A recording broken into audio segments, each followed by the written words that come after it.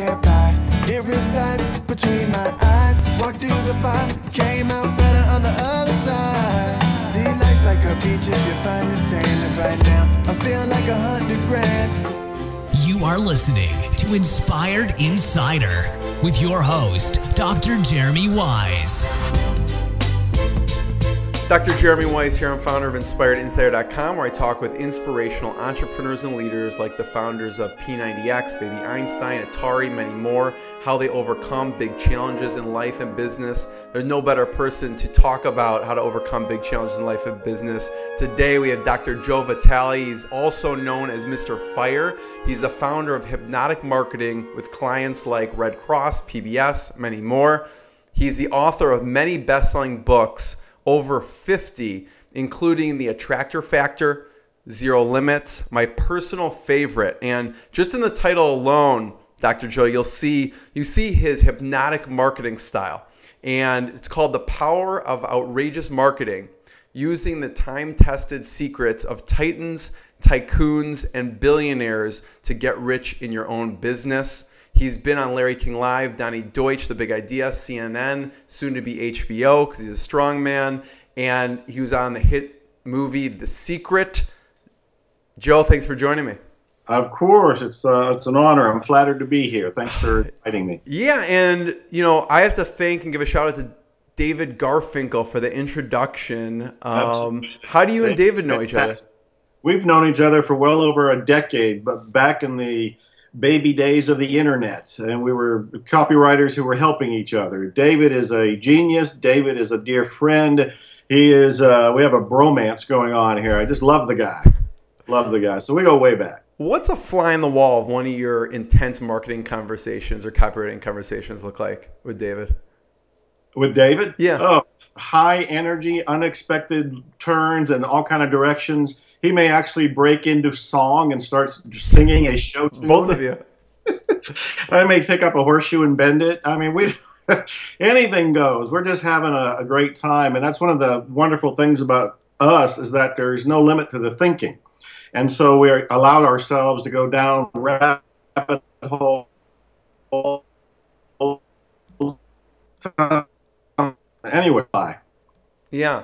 And you know, fun fact about you is besides the cigar meditations, um, you also have 15 music albums. I I do, and within the last four years, it was on my bucket list to become a musician, and I decided to do it. Learn how to play guitar, write songs, sing, play saxophone. I did play harmonica anyway. But in the last four years, I have 15 albums out, with mm. this one being the, the most recent singer songwriter. Yeah. One more day. Yeah, and I want to go ahead. And this is how you market. You know, you just talk about your stuff and you go, and here it is, by the way. Yeah, and I think I read somewhere if you show a picture, you're more likely to sell it. Is that true? Uh, absolutely. People like the book visuals. Up. Yeah. They like visuals. They want to be able to see things. It stops them. Yeah. And you know, you've done so much and when I research you, Joe, is two things stick out execution and production. You are a master at getting things done. So I want to hear about a little bit of what's what you're working on now. I know you have attract money now and then also the secret prayer. Just talk a, a second about both of those. Well, uh, Attract Money Now is a book that I wrote a while back, and I give it away to help people. It's at attractmoneynow.com. Mm-hmm. It has a seven step formula in it that helped me leave homelessness because I was homeless, went through poverty to live the lifestyle of the rich and famous and have the honor of being on a show like this. This is so, the pinnacle of your career this, right now. This is it right here. I, I have succeeded finally. And uh, so Attract Money Now is free. And uh, The Secret Prayer is my most recent book. It's an Amazon bestseller right now. And that's coming from the spiritual side of me, but I'm blending it with the metaphysical and the psychological with the law of attraction stuff that some people know me for. And then, of course, I just signed a book contract with a, with a drop dead true deadline on it. And I have to get this done by December 15th. But this is the Awakened Millionaire Manifesto. Wow. And I am on a mission and I am creating a movement to create awakened millionaires across the planet. These are people who are at peace with money and they're making uh, profit from their passion. Yeah. These are just some of the things. I mean, I have more music coming out. I released some more singles the other day. Um, always blowing and going and doing something. I can tell. You know, that brings up about 50 questions, but I'll ask one of them. Um, the, you know, your process for going with an idea because you probably have a million ideas. Obviously, you went forward with the secret prayer. What was the reason? How do you vet the next thing you're actually going to spend your time on? Yeah, that's a great question. I am very much driven by my own personal passion. Mm-hmm. When I get excited uh, about something for any number of untold reasons, I'll decide that's the project to do next and that's the project to do now. Mm-hmm. What I've learned is to take action as quickly as possible. Yeah. I've learned not to second guess myself, not to doubt myself, not to question myself. I think that's the big problem most people have yeah. is that they get an idea, but they immediately say, not me, not now, don't have enough money, don't have enough education, don't have enough experience, don't have, just fill in the blank, and it goes yeah. on forever. I've learned not to do that. Yeah. In order for me to be productive and to get 50 books written and 15 albums written and to do all the things that I do, I know that when an idea strikes, it's coming to me as a kind of a gift from the universe. I didn't ask for it. I didn't pay for it. There it is. It's just come to me. Yeah. And so it, uh, I'm looking at it like I've gotten marching orders. And what I want to do is take action on it. And here's the other secret that yeah. most people don't know about. When you act on an idea, as quickly as the idea comes, you get the ride, the energy of the idea mm. to actually complete it. Yeah. And that's what I do more often than not because if I wait, if you write down an idea and say, that's a great idea, I'll get to it in three months or six months. Right. If you do get to it, most of us won't, but if we do get back around to it, we'll look at it and the energy that came with the idea won't be there. Yeah. It'll just be a good idea. It won't be an exhilarating idea. Yeah, yeah. And so I um, act on my ideas, quick talk myself out of them. So, what's your process? So now you have the idea and you want to execute on this book. I mean, you can have the idea and then people don't even know how to execute. What do you do? What's your process for like, okay, I got to get out the secret prayer. It's got to come. I mean, December 15th is coming up, you know. Right. Yeah. So, uh, the, well, one of the things I do is, is, make very little time for interviews like this. I, I, made an ex, I made an exception because of our relationship with David Garfinkel. Yeah. But the truth of the matter is, after I did my workout this morning and bent a horseshoe this morning, I immediately got on the computer and started working on the book. Yeah. Worked on the book all the way up to a few minutes before this interview. When this interview is over, turn it down, shut it off, and I go back to the book because I am under a deadline and that is my focus. And I mm. can only focus on maybe three things with any sort of consciousness at any one time. And it's usually better if I focus on one thing until I write it to completion. Yeah. And when I get it done, then I can move on to the next. Yeah. So my process is a whole lot about decision, intention, focus, and action. Make a decision I'm going to do something. I have the intention that's I'm lining up my body and mind to make sure I'm doing just just that. Yeah. And then I start taking massive action, focus entirely on it, and persistence and endurance until it's done. Yeah. Yeah, and Joe, you know, people look at you and be like, "How is that even possible to produce that much?" So, could you break down some of the what are you consider some of your most important daily rituals that allow you to be so productive well, one of the most important daily rituals is to make time for inspiration. Mm-hmm. So you semi jokingly mentioned about my cigar meditations, and that's a real thing for me. Yeah. I actually I enjoy a good cigar, uh, preferably the ones off from a small island off of Miami, and I will I will go outside. I've got a deck out in the woods over there, and I will sit up in the trees. And as I'm smoking my cigar, I don't have my laptop, iPad, or any of that stuff, so I'm not distracted. And I'm allowing inspiration to come. I'm hmm. allowing mm. my mind to just roam around, and I'm available for ideas. Yeah, that's a very important thing. The other thing is, I write every day. I consider myself a writer. I may be doing a dozen different things or known for a half a dozen different things, right. but I'm primarily an author. Yeah. So every day I'm writing a blog post, I'm writing an article, I send out an email virtually every day. Yeah. I'm working on the next book. So some of the processes are there along yeah. those. Yeah, yeah. So, you know, before we talk about anything else, I need to mention the power of outrageous marketing. And you use one of the strongest factors in marketing copywriting, um, curiosity. And oh, one curiosity. Of, what's that? I love curiosity. I use it a lot. Yeah. When did you discover it? That's this. I want to talk about something out of that book that I'm still curious about. But well, um, and I want well, to tease people. Go ahead. The Power of Outrageous Marketing is an audio program. Yeah. So you are you thinking of the Barnum book? No, I, I listened to the audio. Oh, okay. So Yeah. the Power of Outrageous uh, Marketing is an audio program. Yep. It was my first one with Nightingale Conant. Yeah. And I think we recorded it back in 98 or 99. Oh, really? It's still as fresh as ever. Uh, You know, you just listened to it. Yeah. And Nightingale.com still sells it. So I learned about the power of curiosity from all the co- copywriters that were before me. hmm Robert Collier, David Ogilvy, John Caples, Bruce Barton, all of these guys taught me about copywriting.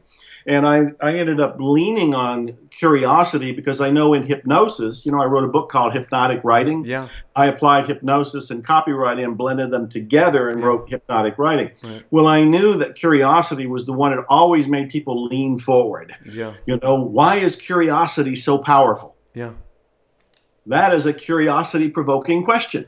Yeah. Everybody now wants to know. And it's because of the nature of how the brain works. The mind wants to close loops. And if I open one with an open ended, curious question, Yeah. you may not have cared at all about curiosity before the question was asked. Right. But once it was asked, now your brain isn't happy until you hear what the answer is. And I have your brain on hold until I tell you that curiosity things. That, so I use it all the time. Yeah. Yeah. So I want you to tease people a little bit and open a loop. Tease or teach. What's it? Tease. Tease people for a second.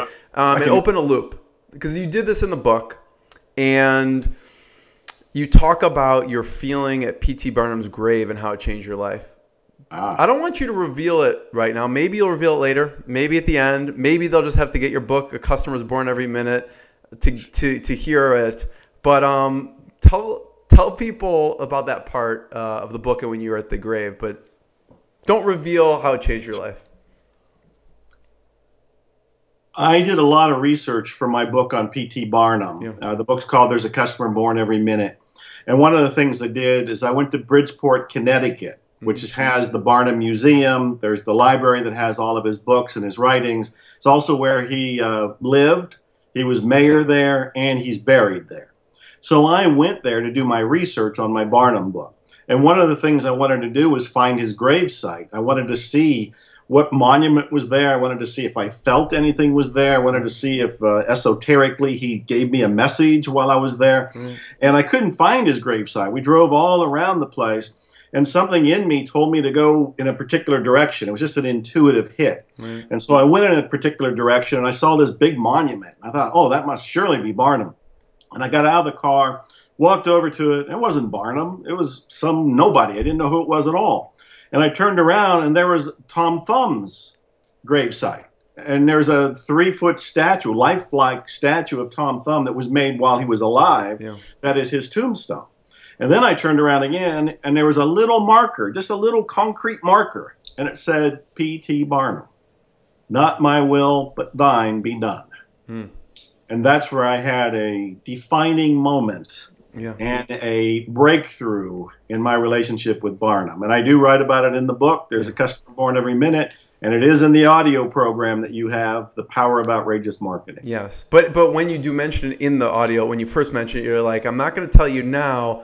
It may be later, or it may you may have to buy my book, A Customer Born Every Minute. So Yeah. so maybe we'll talk about it at the end, maybe not. But um, I wanted to We'll open see. that loop. Yeah. Um, so Joe, how'd you get the nickname Mr. Fire? A girlfriend I had decades ago started calling me Mr. Fire. And I said, Why are you calling me Mr. Fire? And she said, Because you light a fire under everybody you meet. Hmm. Every time I saw her, I would just start talking about ideas and what she could do and what I can do. Yeah. And she just felt inspired. And so she came up with the nickname Mr. Fire. And back then, the internet was just starting. And I named my website MrFire.com, Yeah. M R F I R E.com Yeah, love it. didn't know any better. I mean, it just sounded like a good idea. And most people misspell my last name, Vitale, but they don't misspell Mr. Fire. So it became a moniker. Yeah, yeah. So what did you want to be when you grew up, when you were young? Uh, several things. I wanted to be uh, the, I wanted to be Harry Houdini. Really? Um, I had the stage name of Harry Excello. Oh, I, even today, I'm a lifetime member of the Society of American Magicians. I Really? spoke. I spoke at a recent magic convention. I invented magic tricks when I was a kid. wow. I used to allow my brothers to tie me up and leave me alone so I uh, so I, so I practice because I plan to. Be I'm sure they love that. Yeah, I plan to be thrown off a bridge all tied up, and I needed to practice beforehand. Wow. So yeah, I wanted to be a magician. I wanted to be a baseball player. I thought I was going to be a detective. Thought I was going to be an actor at one point. And obviously, books were always in my life. I've always been a book nerd. Yeah. And somewhere in the early years, I decided that if I was an author, I can write about characters who were magicians or detectives or actors. So writing became it. Mm. I love magic too. So, what's your favorite trick, either that you invented or that you've seen? Oh goodness, my favorite trick. Yeah. You know, I I know Lance and when he was performing in Las Vegas, he would make an entire car. dis- I always, I'm a car guy too. I have a car collection. I love cars. And so when Lance Burton would have somebody come out of the audience and he would put him in a car and he would make the car disappear, it was a very cool, freaky, wonderful moment for me and everybody there. Yeah. He's he is amazing. Yeah, I've seen like watch his YouTube videos. Unbelievable. Um books and like I got this from the research. You devour books. And and I- I get that sense of from the power of outrageous marketing people should pay very close attention. Even in a chapter, you can tell that came out of studying like one chapter, 15 books on copywriters, you know, Right. and you pull everything in you, in, you know, the stories combined with the actual tactics uh, are really powerful. Um, what books, what are on your favorite of all time books? Oh, well, there, there's a lot of them. Uh, I am a book freak. I mean, I am surrounded now with books all around me, and I have another library away with books, and then I've given away books. Um, but I do have books that are just amazing to me. Yeah. Um, the Magic of Believing by Claude Bristol Yeah. was a book I read when I was a kid. Yeah. Came out in the 50s. It's still in print today. And it was one of the first books that taught me that if I can truly believe something with, uh, with integrity and congruence in me, it would come to pass. Mhm. And that was a very powerful book. Uh, the Book of Est by Luke Rhinehart. Est was the Erhard seminar training of the 1970s, and Werner Erhard is still alive and well. He's 80 years old and he's going back to teach again. Yeah. But that book taught me about personal responsibility, taught me about beliefs, taught me about action. It's uh, it's a very hypnotic read, and I read it decades ago. And as it turned out in life, I met the author and I republished the book. So the book, the Book of Est, is back in print. It's on Amazon, and I'm the one who published it. Yeah. So uh, the Robert Collier letter book changed my life Yeah. changed my life. I was an okay copywriter before that book. I was a hypnotic hmm. copywriter after that book. Yeah. The Robert Collier letter book. I still remember the moment I found it. I was in a used bookstore and I knew Robert Collier from his metaphysical books. I didn't know that he was a copywriter and had no idea. I read all of his Secret of the Ages kind of stuff when I was growing up from the hmm. public library. And I was in Houston and there was a used bookstore and there was this great big hardcover and it said the Robert Collier letter book, and it had the yellow dust jacket on it. And I went up to the salesperson. And I said, "Is this the same Robert Collier that wrote all the metaphysical books?" And she said, "I don't really know." And as I flipped through the books, I saw all the references to the other books, and I immediately bought it. And oh, what an awakening for me! That that book, hands down, for me as a copywriter, that was a turning point for me. Yeah, yeah, and even in the the book, the outrageous marketing, you talk about how you bought some really old magazines that you found that he edited uh, too. Yeah, he edited Mind Inc. yeah, He had a monthly magazine called Mind Inc. And it is brilliant. I've collected every one that I could find, and I still look for more. I don't know how many years it was in production, but he wrote it, he edited it, so it's full of original articles, and he was a captivating writer. yeah, And again, he's one of my sources for when I wrote hypnotic writing. I was Yeah. inspired by Robert Collier. yeah. And obviously, Joe, you're you know influenced by a lot of books that you read, and I'm wondering what was a big influence growing up for you? Well, the biography of Harry Houdini. Hmm. Uh, I think it was the way the Walter Gibson one. I actually have my original copy downstairs, the one I read as a kid, Yeah. 55 years ago, and it taught me outrageousness. It taught me publicity, marketing. Um, it taught me about um, the power of getting the world's attention because Houdini, of course, has been dead for a very long time, Yeah. but everybody knows who he is. Yeah. And he's actually, Good point. probably he's not known as the world's greatest magician, and most of the promotion came from himself. So we know him today because of all the promotion, which is the same reason for Barnum. Mm. So those that early book really taught me more than I even knew I was being taught when I first read it. I just thought it was a fascinating story, and it made me want to be like Houdini. Yeah. What um, was the big influence for your dad? I was watching a video, this really touching video, um, of you and your dad. And what are some big lessons you learned from him?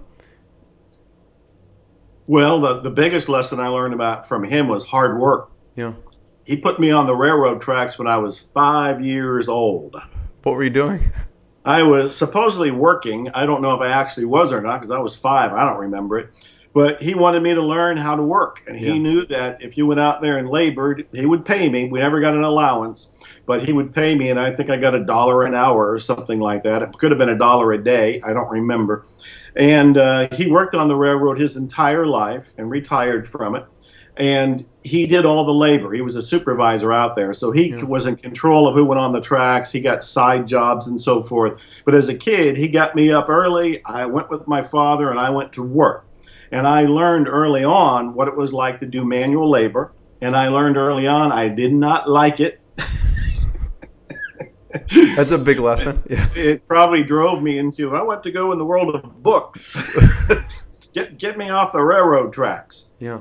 But I learned to get up early. I still get up early today. He used to get up. He still gets up four in the morning himself. I wow. I'll get up five or six in the morning. Wow. But I can get a whole lot of things done before the rest of the world brews their coffee. Yeah. And that was one of the things I learned from my father. Yeah. So just talk a second about what you did for him on his birthday. Oh, well, about six years ago, my father said he uh, he asked me. He said if I recorded his life story, if he recorded his life story on cassettes yeah. and sent them to me, could I turn it into a book? And I said, sure, I can do that. And I forgot about it. Six years went by, and last January I got a box in the mail from him with a cassette player, a letter, and about 15 90 minute cassettes. And I thought, oh shit, he did it. and then, oh, oh shit, who listens to cassettes? So I had to hire a transcriptionist, hire an editor. We formed that, all of those tapes, into a book, and I used the Amazon's Create Space publishing program, and I printed a, the book. I put it on Amazon, and I printed a couple copies of it. Yeah. And then I went to Ohio, which is where he's at, and for his 90th birthday, yeah we filmed this, and this is the video you probably saw because it's on YouTube. Yeah. I asked my father, I said, Today you're 90 years old. Is there anything left not done? And he immediately said yes. He said, First, he has three cans of coffee. three cans of coffee in the cupboard. You know, depression era mentality. You have to use everything up. Right, right. Uh, so we wanted to do that. Second of all, he said he hadn't won the lottery yet and he was still playing every week. He wanted to win the lottery, and it wasn't for him. He wants it for his family. He wants to give the money to all the kids and grandkids. Yeah. And then third is he wanted to see his book finished, and he wanted me to buy him a Reuben sandwich in exchange for the book. And he didn't know that I had finished the book. He didn't know that I had the book in my hand. I had a paper bag and I it said, looks well, like um, like someone with a, like a wine bottle drinking in the yeah, it was, like, it was like a wino. You know, I had this folded over paper bag. It wasn't wrapped at all. And I said, Dad, you know those cassettes you sent me?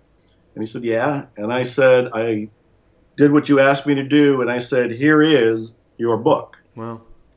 And my father, for maybe the first time in his life, he was speechless. He was red faced. Yeah. He was choked up and you can see it in the video. For sure. And I, his son, finally was able to give him something because throughout my life he's re- he's resisted, refused, and even been insulting in trying to give him gifts, and he just throws them back. He doesn't want anything. Mm. And again, that,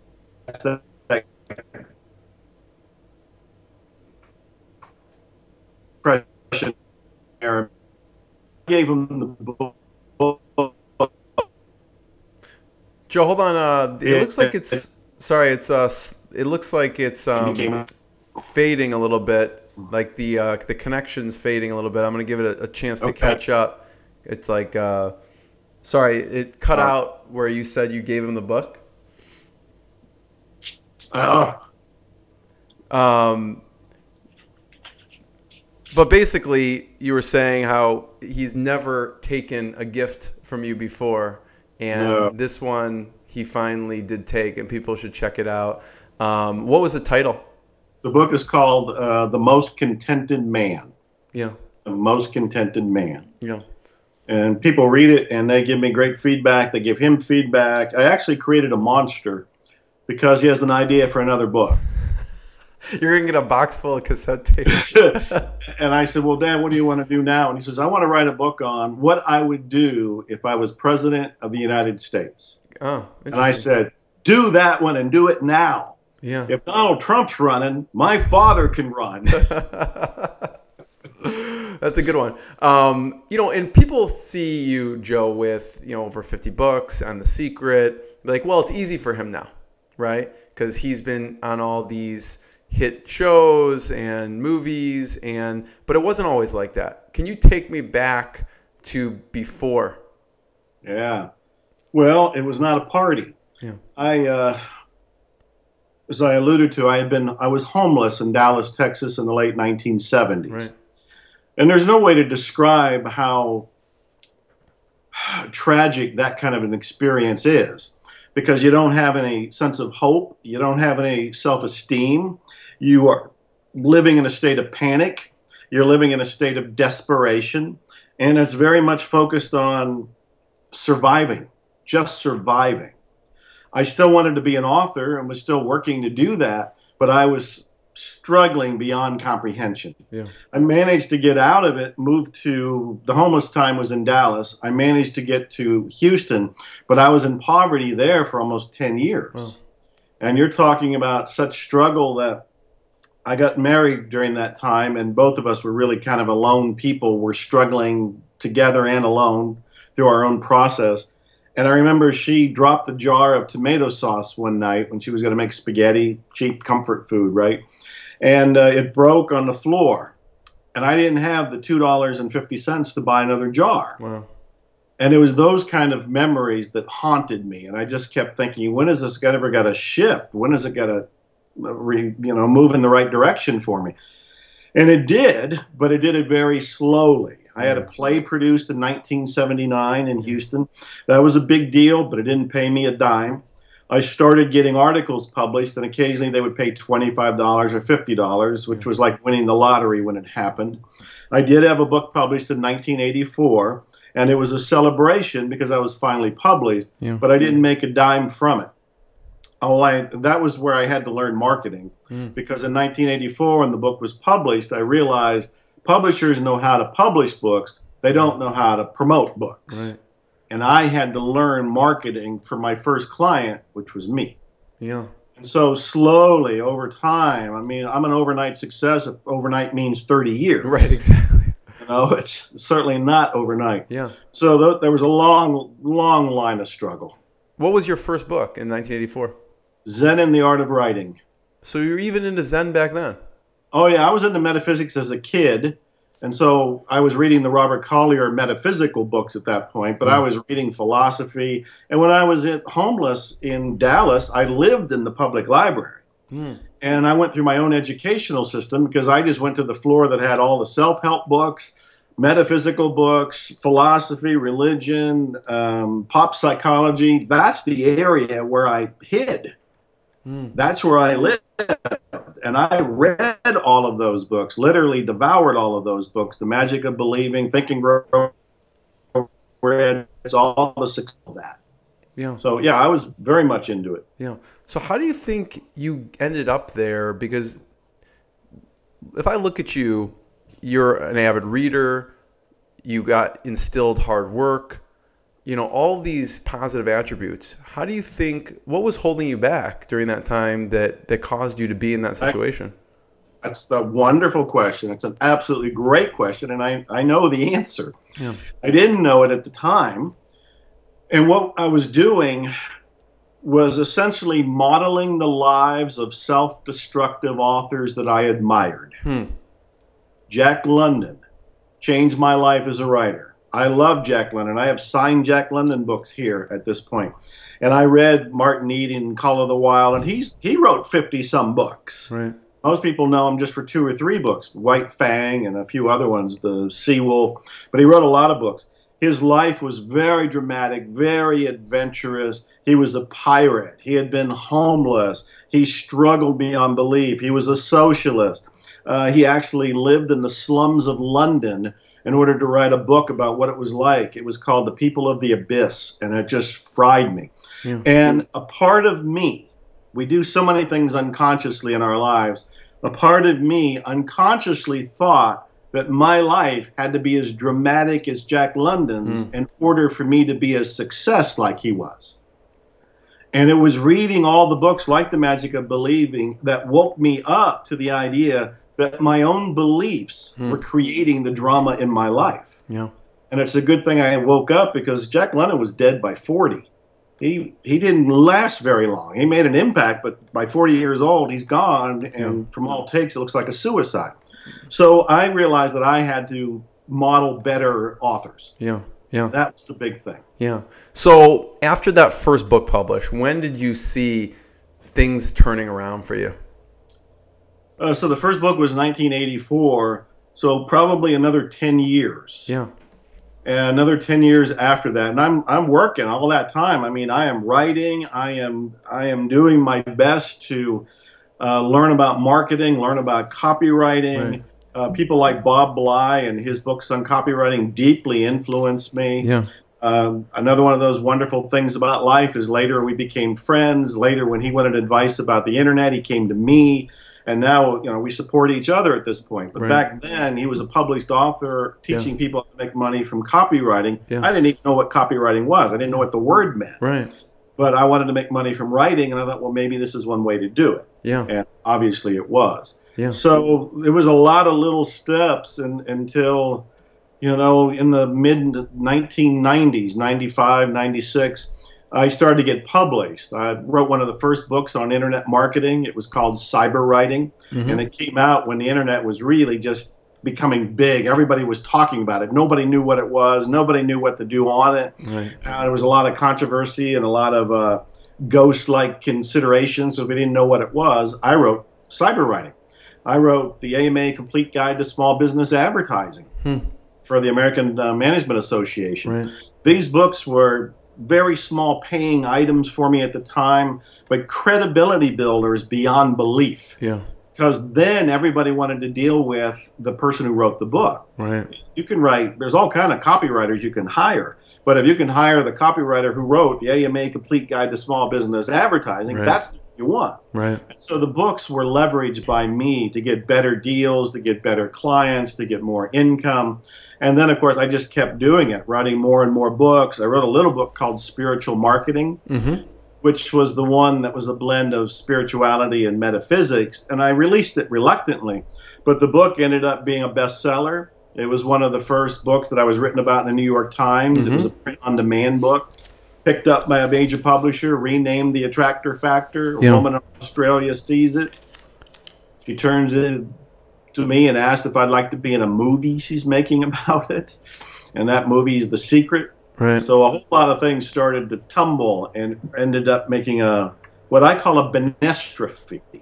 It's the opposite of catastrophe. A benestrophe is when a whole lot of wonderful things happen together. That's what you want in life, and that's what started to happen for me. Yeah, it, I love that. So, you know, it was interesting. So, I was doing the research too, Joe. I found that you were talking in one uh, particular video about that you were afraid to release the spiritual marketing um, early on. Talk about that for a second and how you you pushed pushed through that because I feel like a lot of people are afraid to do things. Yeah, well, first of all, I'm going to say this. I, I discovered that your wealth is hiding under the very thing you're afraid to do. Yeah. Your wealth is hiding under the very thing you're afraid to do. And I learned this because I had written spiritual marketing on a whim, mostly from my sister. I have a younger sister I'm very close to, and she was struggling. She was on welfare, and I thought she needs to know some of the things I've learned. Yeah. So I wrote spiritual marketing. And uh, it helped her. She got off welfare, raised her three kids. And every now and then I would give the book out to friends or wherever I felt it was appropriate. But I was afraid to release it publicly. Yeah. Why? I was- because I was already published by Nightingale Conant, The Power of Outrageous Marketing, uh, the American Marketing Association, the American Management Association with cyber writing and some other books. Yeah. And I was afraid that if I came out with the metaphysical, spiritual side of me, that these very conservative companies would drop me. Mm. And so I was playing it safe. But secretly inside of myself, the metaphysics and the spirituality was really more me than the marketing was. Yeah. So spiritual marketing was my blend of both and kind of my coming out, but I didn't do it publicly until I was at a seminar, a Science of Getting Rich seminar with Bob Proctor. It was mm-hmm. in Denver. And Bob had, had invited me to come as a guest. And to thank him, I gave him a copy of Spiritual Marketing, which just was a Xerox folded over stapled booklet. And he looked at it and he said he loved the title. And then he read it and he said he loved the book. Yeah. And then he stood up in front of everybody in the audience and he says, Hey, we have a guru here, a respected authority on marketing. And he, and he was talking about me. And he said, He has a new book. It's called Spiritual Marketing. And he held it up. And I panicked, going, I don't have a new book. This is not available. it's not published. And he said, You're all going to want it. Well, after that talk, 250 people just stampeded me. Wow. And there was a publisher there who said, I'll publish your book. And I said, Smart publisher. I said, you haven't even read it. He said, I don't need to read it. Look, look at the, the people that want it right now. right. And of course, I did publish it. It ended up being a big success. It ended up turning into the Attractor Factor. We changed the title. And it is my most beloved book. It is. Out of 50 I've written, Yeah. it's the number one bestseller. It's the most translated. It's the one people read and talk about the most. Yeah. And it's the one that got me into the movie The Secret. Yeah. So, all because of a little booklet I almost didn't release Yeah. because of fear. I love that story. Um, what was life like before and then after the secret for you? Well, before it, I was already doing pretty well because of the uh, the internet fame I was getting as a copywriter and as a marketer. Yeah. I had come out with those books that were one of the first on internet marketing. I was the first to go online. The internet has largely been driven and still really is by text. People still write, even though we have video and all this other stuff. Text is still what's driving it. And here I am as a hypnotic writer going online. I was able to write material that was more captivating and compelling than most of the other people. Yeah. So it elevated my success. I also used the internet to make a lot of my books bestsellers, like The Attractor Factor. Yeah. Came out when the latest Harry Potter book came out, and Pope John at the time had come out with a book. And I used the internet and publicity in my copywriting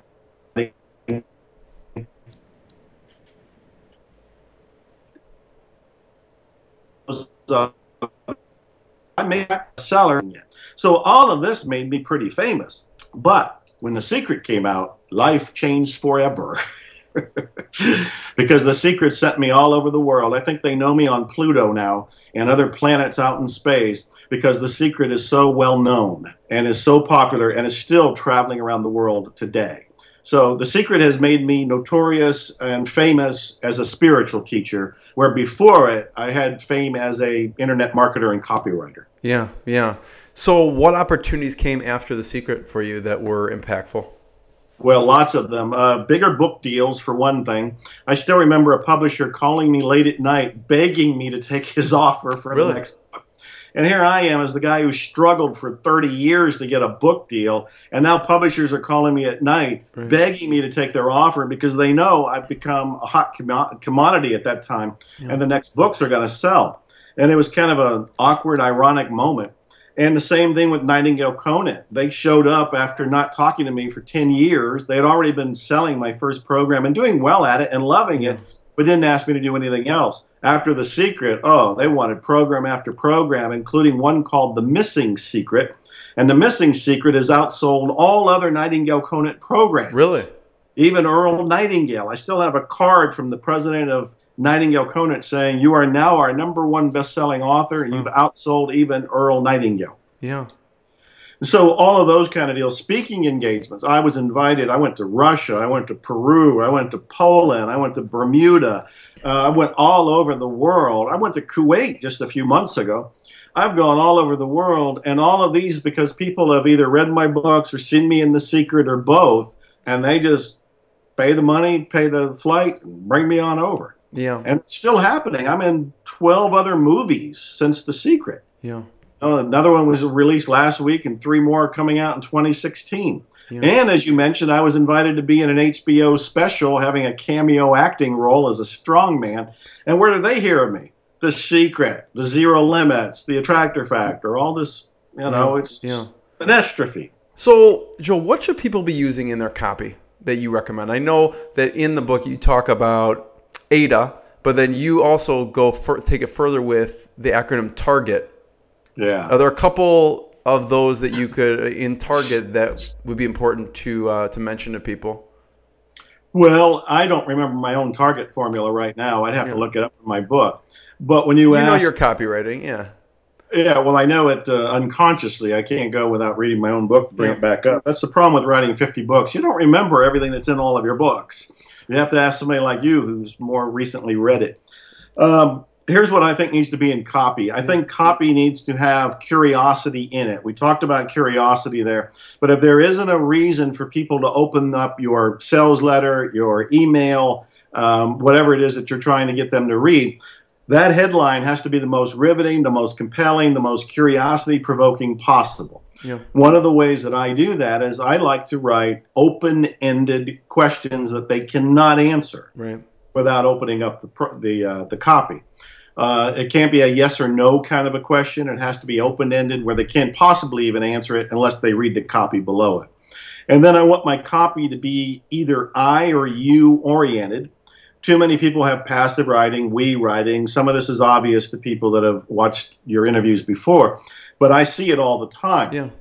I like to talk about you and what you will get. Right. You will get this, but I also want to focus on the benefits so that this will happen. Right. You will get this book, you will get Attract Money Now, which will reveal the seven secrets to attracting money so you can get out of debt, pay your bills, go for your dreams, attract more money, and live the life that you've been dreaming about. Right. So it needs to be that complete thing there. I'm also a big believer in having testimonials. Uh, the more testimonials, the better. Pondering is what the uh, evidence that what I'm talking about is going to work, and not from me, but from other people. Right. Right down to, I have often sent out self but testimonials. I always want a call to action that's in there. Almost not everybody, but a lot of people send out things. I still remember getting packages and letters from people, eight pages long, 12 pages long, powerful, persuasive. No phone number, no email address, no order form, no way to order their product. Completely forgotten. That's crazy. Talk Yeah. about sabotage. Talk about blowing it. So a call to action needs to be there. And another thing I do all the time, and I do it in my emails, I do it on my blogs, I add a PS. Yeah. The PS, the postscript, is an old school traditional direct mail copywriting technique, but I still use it on the internet where very few people still use it. Because I know if I've got them engaged, I have another chance to, to sell them on something Yeah. or to hit them again with a reminder of something. Yeah. So those are off the top of my head. Yeah. And that incorporates everything that you do talk about in the book and and then some. What prompted you to write There's a customer born every minute? Oh, Barnum himself. Barnum himself. I had read an essay. Uh, let's see. Og Mandino had put together a book. It was something like The greatest salesman in the world or something? Or Yeah, no? but he had a book that was called Oh. Success Literature, or the the University of Success is what it was called, and it was filled with essays and excerpts from other people. Hmm. And there was an article in there. There was an excerpt from P.T. Barnum's autobiography. I read the excerpt and I said, "My God, who is this guy?" I know Barnum's name is the circus guy, but I didn't know anything more. Right. So I read that from Og Mandino, and then I went and got P.T. Barnum's autobiography. I read the autobiography, and I was riveted. I was riveted. The man was talking to me. He's telling me his life story. He's born dirt poor. He's got nothing going for him. He's going dur- during the time of the Civil War. Yet he's an entrepreneur. He thinks of all these wild things. He seems to have a marketing mind that nobody else has. He takes amazing risk. He uh, runs for office. He's a politician, an entrepreneur, a showman. Uh, it just went on and on, and I delighted in his stories. And I said, why hasn't somebody written about the business secrets of P.T. Barnum? Right. And I went to one of the publishers I had at the time, and they said they loved the idea. And then uh, me and another copywriter, in fact, it was uh, David Deutsch. Sure. David Deutsch and I came up with the title "There's a Customer Born Every Minute." Ah, okay. And, uh, yeah, and I did the, the research on it and wrote the book, but it was all because of Barnum himself. What a fascinating man. Yeah. So, what's a big lesson from your research uh, on Barnum that people should take home? Well, what he did was see things differently than anybody else. And anybody can learn to do this because I've now learned to do this myself. He saw opportunities where other people just saw the commonplace or they saw a problem, they didn't see solutions, and they certainly didn't see opportunities. And my favorite story is when he met uh, Charlie Stratton. Charlie Stratton was a little boy who was said to never grow beyond three feet tall. And all of Connecticut saw what a what a sad story, what a curious story, and they left it at that. P.T. Barnum looks at him and goes, "Superstar! Hmm. I can turn that little boy into a superstar." Right. And he renames him General Tom Thumb.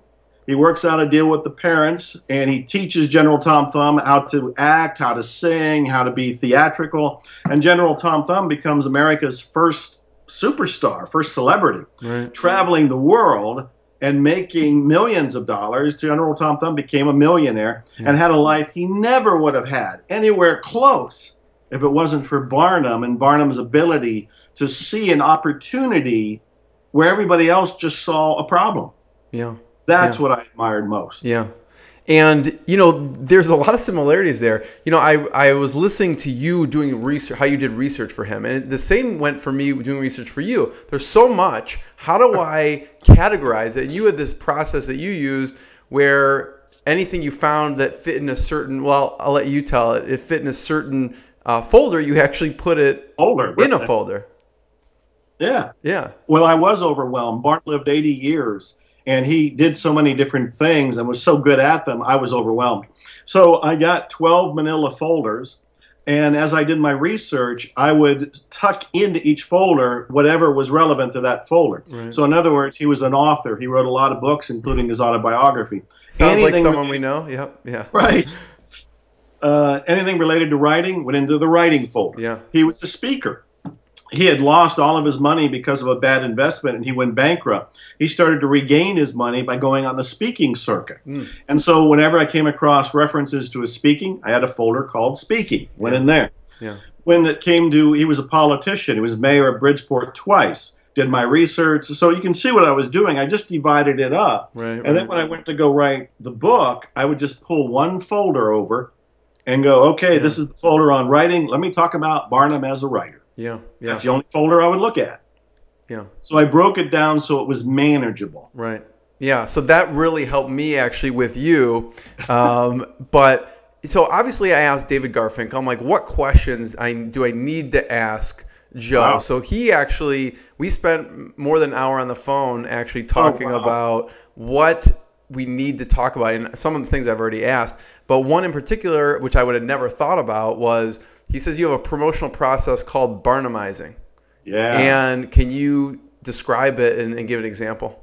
wow. Yeah, I love Barnumizing. It's it's a coined word inspired by P.T. Barnum. Yeah. Uh, P.T. Barnum did not think small. This man was going after the planet. He really did think. He didn't say there's a customer born every minute, but he thought there's a customer born every minute. Yeah. And so he did giant advertising, persistent publicity. He hired uh, reporters. He hired newspaper people. He took out ads. He traveled the world. He took his show by rail when it was early to do so around Yeah. the planet. And I kept thinking, this man just keeps elevating everything he does. Right. He grabs every tool, every technology that comes around. He was the first to have a telephone. He was the first to have a burglar alarm. Whatever the the the the latest thing was, he grabbed it and tried to use it and use it in his publicity. Mm-hmm. He had a frickin' elephant plowing the front yard of his house. I mean, why? And it's because the railroad drove by his house, and when people looked out the window, they'd see an elephant, and they go, "Oh, that's Barnum's house." Then when they get into New York City, they'd go to the Barnum Museum. so he Barnumized everything. Right.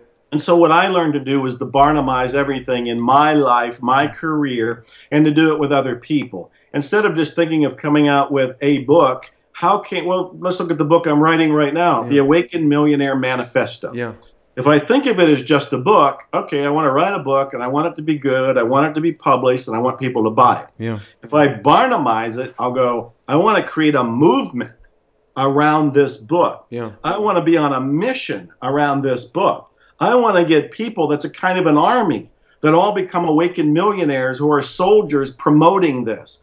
That they're out there in every way, shape, or that we can think of, or the ones we haven't even thought of yet, that are actually promoting it. And then I start thinking to myself, what else would Barnum do?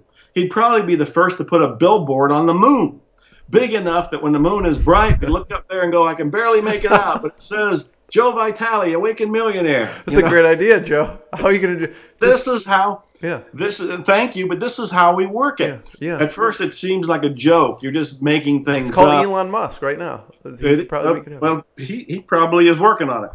But you start having fun with it. You start thinking out of the box. You're Yeah. just joking around. But before you know it, it becomes a reality. Yeah. And it's no longer a book. It becomes something bigger than the book. yeah. I did the same thing when I spoke on P.T. Barnum. I thought, well, how do I? Uh, well, let me give you a better example.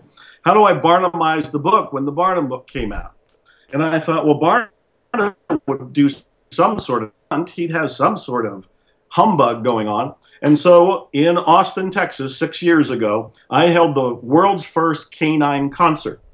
And a canine concert is a rock and roll show done for dogs only. At a sound level only dogs can hear. and how I got publicity is first of all, I sent out a news release as a survey asking people, uh, I'm planning to do a dog concert. What is the favorite music that your dog likes to listen? and people wrote back, you know, classical, this, that, and the other. But rock and roll was the one everybody, every dog wanted to listen to, supposedly. Okay. And then I got a band to donate their time. They thought it would be fun, and they came with all kind of equipment with the understanding that it will all be turned off. They're going to play, but nobody's going to hear anything. And we would tell the public that this is just at a dog. It's at a level. It's like a dog whistle. Right. The music would be transmitted at a level only dogs can hear. Well, three news crews showed up. I did a speech at the end of it about P.T. Barnum. I actually had a mermaid come out of a big box, and we donated the whole thing. There's some footage on YouTube where you can see it. But I Barnumized the whole event. It wasn't just a book. I mean, everybody comes out with a book. There's a thousand books every week. Right. How do you make it stand out from the crowd? So I come out with a book and I Barnumize it with the canine concert. And I've done other things, but that's a quick example. I love that one, Joe. Thanks for sharing that. Now I'm gonna have to check it out on YouTube. Um, you know, since it's Inspired Insider, I always like to ask two questions. One, what's been the lowest moment, and then how you push forward through it, and then the flip side, the proudest moment. Wow. So, yeah, start off. What's been the lowest moment and how you you push through that time? Well, the lowest moment would be during the struggle years when I'm homeless, desperate, and the world looks black. I don't see anything happening. I'm totally alone. Uh, no car, no place to live, no person I'm with, no friends. And I contemplated suicide Wow. at that point. And interesting, the only thing that kept me going was curiosity. Hmm. What if it all changes tomorrow? Really? next week or next month. So curiosity kind of played into keeping me alive Wow. way back before I knew it as a copywriting or psychological technique. Yeah. But uh, curiosity is what kept me going because I really did think that I feel destined to do something You did. with my writing. Yeah. But there's no evidence around me that that's going to happen. Yeah. And so you get so, I got so bleak and so dark that I felt like, well, maybe I should just pull the plug. wow. But thinking, what if tomorrow changes, or next week, or next month, or next year? And thank God, because I would have missed on six decades of some of the most incredible life experiences Yeah. that I never knew would be hatching. Yeah. So we, we just never knew, but it was curiosity. And so, uh, what was the other one about the highlight? Yeah. The proudest moment. The proudest. The proudest. Um, there's a lot of those. yeah. There's a lot of those. Uh, I'm just going to take the one that comes to mind. Yeah. When my first singer songwriter album was done, it was called Strut. I had pulled together my resources. I got a rock and roll Hall of Famer to be my drummer, and and more.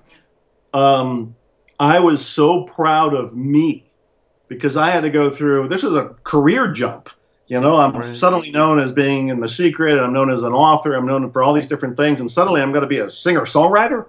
I applied marketing to it and defined myself as the world's first self help singer songwriter. Yes. That's me Barnumizing Direct myself. response. Yeah. That's me Barnumizing myself as a musician. Yeah. There's all kind of musicians out there. I'm just Yeah. another one Yeah. unless I'm the world's first self-help Yeah. singer songwriter. yeah. So coming out with Strut and holding the album, and this isn't it, but just holding the physical copy and realizing I did it. yeah. I did something I didn't even think was possible. I proved again that there's nothing impossible in life. It's almost as good as the feeling as when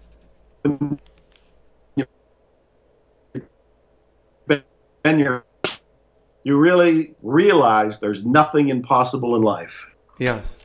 Um, you know, I do notice that with your marketing, it's really interesting. People should just pay attention to how you title things or form things like, you know, the number one hypnotic mark- marketer in the world or hypnotic copywriter. You know, you Barnumize everything. Yes. And, you know, I really appreciate your time, Joe. This has been fantastic. Um, where can we point people towards? Where, where should people check out? I know we mentioned the top of uh, the Attract Money Now and the Secret Prayer. Where should people check those out and, and any other resources? Oh, thank you. Well, the free book, Attract Money Now, is at attractmoneynow.com. Yeah.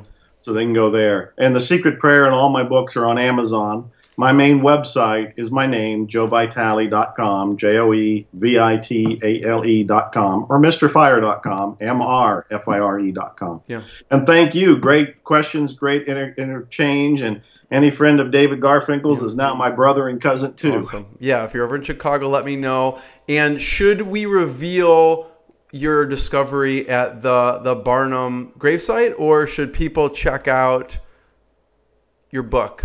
I'll give them the short version of them. I think they should check out the book because it gives a longer, more spine-chilling uh, uh, version.